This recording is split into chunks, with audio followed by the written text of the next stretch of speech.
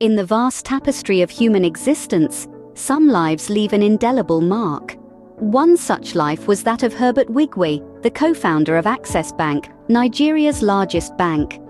His story, punctuated by remarkable achievements and an unforeseen tragedy, serves as a testament to the power of vision and determination. Born and raised in Nigeria, Herbert Wigwe's journey to success was a testament to the power of ambition and hard work. His early life was one of humble beginnings, but he never let his circumstances define his future. He pursued his education with fervor, earning degrees in economics and accountancy, laying the groundwork for his future endeavors. His drive and intelligence led him to join the banking industry, where his career took flight. He quickly rose through the ranks, demonstrating an unmatched business acumen and a keen sense for financial innovation. But his aspirations extended beyond personal success.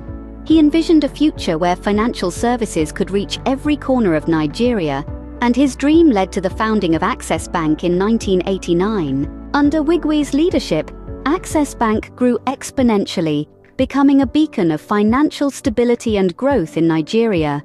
His innovative strategies and forward-thinking approach led the bank to unprecedented heights.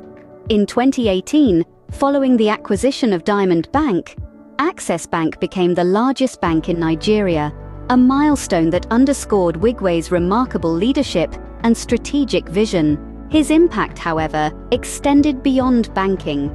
Wigwe was in the process of starting his own university in Nigeria, named Wigwe University, a testament to his commitment to education and his belief in empowering the next generation. Despite his many accomplishments, Herbert Wigwe's life was tragically cut short. On a journey to attend the Super Bowl in Las Vegas, Wigwe, his wife, child, and three other individuals were involved in a fatal helicopter crash near Nipton, California. There were no survivors. The loss of Herbert Wigwe sent shockwaves throughout Nigeria and the world. His contributions to the banking sector, his vision for a more educated Nigeria, and his unwavering commitment to improving the lives of those around him left an indelible mark. Herbert Wigwe's legacy endures in the institutions he built, the lives he touched, and the changes he brought about. His life serves as a reminder that even in the face of tragedy, one's impact can continue to resonate inspiring others to dream big and work hard to make those dreams a reality. And so, as we remember Herbert Wigwe, we celebrate not just his life, but also his enduring legacy. A man who dared to dream, who believed in the power of education, and who devoted his life to making a difference.